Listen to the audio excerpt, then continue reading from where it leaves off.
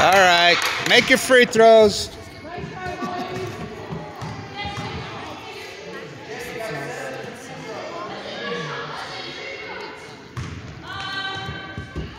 At least he didn't set up on the three-point line this time.